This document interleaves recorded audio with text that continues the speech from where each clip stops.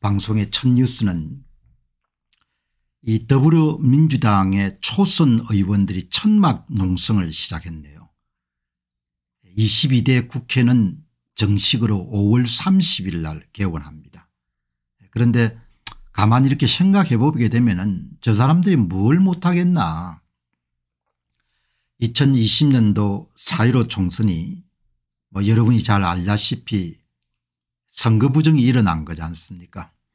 저희들이 분석해 보게 되면 은한 329만 표 329만 예, 표 정도의 추정치가 329만 표 정도가 실제 사전투표율보다도 부풀려져 가지고 발표가 되고 실제 사전투표율과 발표 사전투표율 격차가 329만 표가 전국에 투입된 거지 않습니까 그 329만 표는 지역구 경우만 이야기하는 것이죠.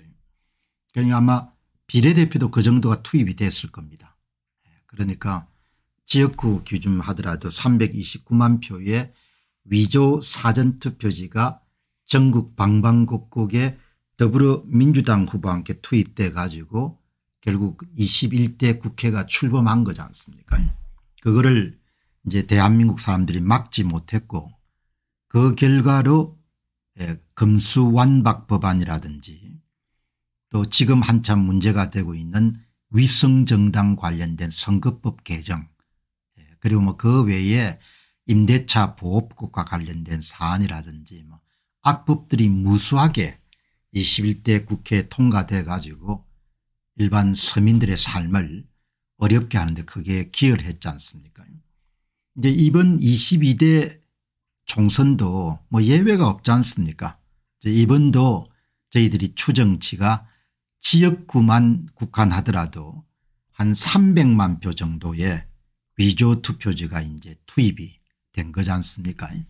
위조 투표지가 투입이 돼 가지고 이제 오늘 보니까 시골 촌부님께서 예, 추계치를 보낸 걸 보니까 완전히 독자적으로 제야 전문가와 별도로 독자적으로 추계치를 예, 한 걸 보니까 관내 사전투표가 128만 표 정도가 이게 투입된 것 같다. 그렇게 이제 저한테 결과를 보내주신 조금 더 보완한 다음에 좀 정리가 되면은 어 제가 소개해 드리도록 하겠습니다. 시골 촌부가 이런 추계한 내용이 또 독특하기 때문에 그한 329만 표 정도 투입했는데 이번에는 이제 한 22대 총선 같은 경우는 한 300만 표 정도 투입한 거죠. 지역구만 예, 지역구만 이제 한 300만 표 정도가 투입됐고 비례대표도 한 그, 그만큼 투입이 된 거죠. 예, 이제 그렇게 해서 이제 의석수가 108, 169석을 차지해야 될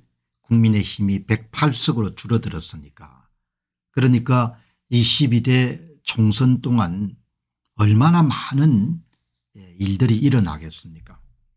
그거를 이제 뭐 이유야를 불문하고 한국인들이 막지 못한 것이고 그런 아주 예, 불법적인 그런 선거가 끝났음에도 불구하고 어제 여러분이 보시다시피 윤석열 대통령께서는 그런 문제를 모두 다 덮기로 굳게 결심하시고 항복 선언을 엊그제 기자회견에서 하셨지 않습니까 그러니까 이제 앞으로 4년 동안 뭐 하고 싶은 대로 안 하겠습니까 늘 제가 강조하는 바와 같이 선거를 훔칠 수가 있으면 뭐할 수 없는 것은 없다는 거죠. 전부 다 여러분들 다 조작할 수가 있는 것이 바로 예, 선거에서 볼 수 있는 내용이란 거죠. 여기 보시게 되면은 야당 초선 의원들 천막 농선 22대 개원 전부터 실력 행사에 나가다. 뭐이 실력 행사에 나가는 것은 윤 대통령이 해병대원 최상병 해병대원 특검을 거부권을 행사하게 되면 우리가 가만두지 않겠다. 이런 내용이지 않습니까? 이제 여의도 국회 본청 앞에서 이제 뭐 더불어민주당 초선 당선인 비상행동 최해병 특검 관철을 위한 뭐 이런 이야기가 나오지 않습니까 예. 그러니까 뭐 상상 불허할 정도의 그런 어, 어, 법들이 통과되겠죠. 그렇게 해가지고 뭐 어떤 사람들은 이익을 볼 것이고 이 보시게 되면은 더불어민주당 초선 당선자들이 정부는 해병대원 사망사건 특검을 수용하라. 예. 국회 개원 5월 30일 이전부터 장외 투쟁에 나섰다. 예. 그러니까 대한민국 사람들이 이걸 다 이제 부정선거를 그냥 받아들였으니까 윤 대통령이 다 받아들이고 국민의 힘당이 다 받아들였으니까 뭐 그 이후에 국회에서 무슨 일을 하든지 간에 그걸 다 용인하겠다는 걸 뜻하는 거지 않습니까 그러니까 뭐 이제 별로 할 말이 없는 거죠. 예.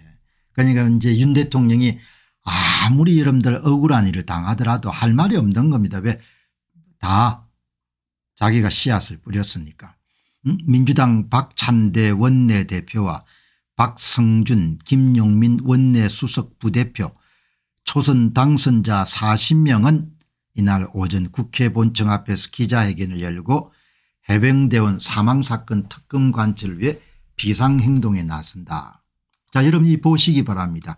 이 초선 국회의원들 가운데서 선거관리위원회가 제공한 위조 투표지를 받지 않은 예, 위조 투표지를 공짜로 받지 않은 국회의원이 누가 있겠습니까 한 명도 없는 거죠. 총선은 총선은 전부 다 조작을 한 거지 않습니까 예. 전라남도 전라북도 광주광역시를 포함해 가지고 아마 광주광역시 전라남도 전라북도를 조사해 보게 되면 뭐 몇 개 지역은 나올 겁니다.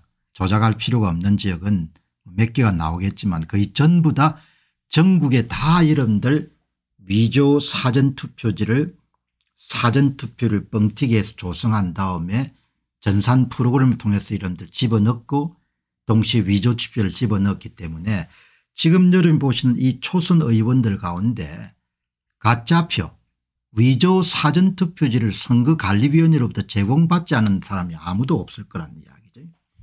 그거를 이제 한국 사람들이 다 받아들인 거죠. 받아들였으니까 이제 4년 동안 신문에서 이렇게 뭐 엉망진창을 그냥 일이 나오더라도 예. 뭐 어떻게 해볼 도리가 없는 거죠.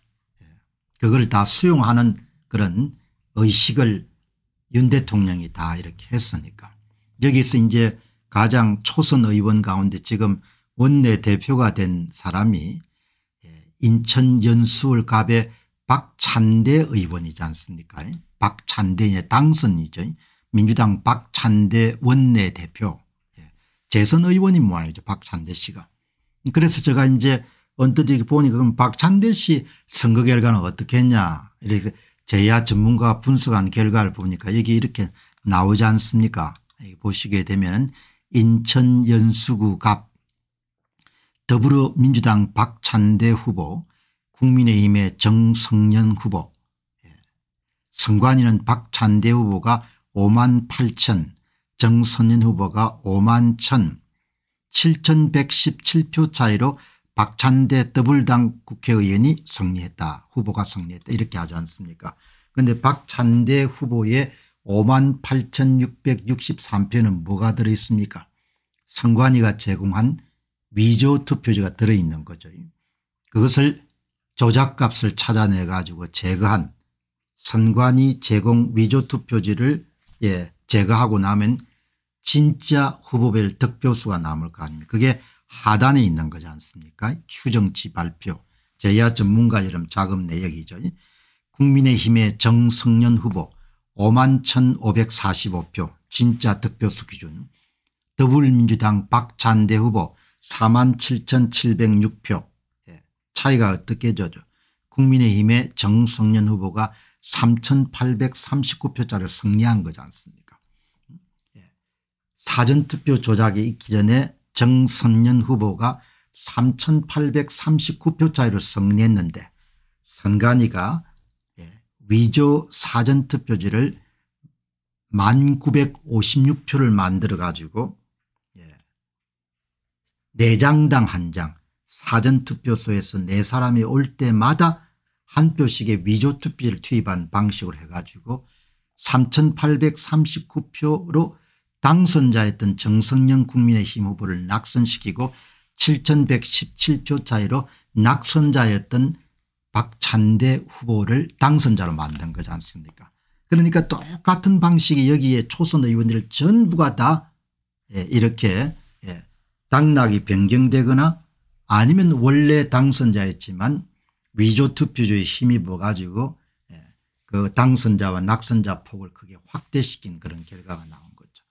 그러니까 뭐 이 양반들이 초선을 하든 아니면 다음에 뭐 탄핵 법안을 통과시키든 아니면 뭐 검찰을 완전히 박살리는 법안을 통과시키든 25만 원 주는 공짜 이름들 예, 민생지원금을 주는 것을 하든 간에 뭐 이제 윤 대통령도 각오를 하셔야 되고 그리고 대한민국 국민들 다 각오를 해야 되는 거죠.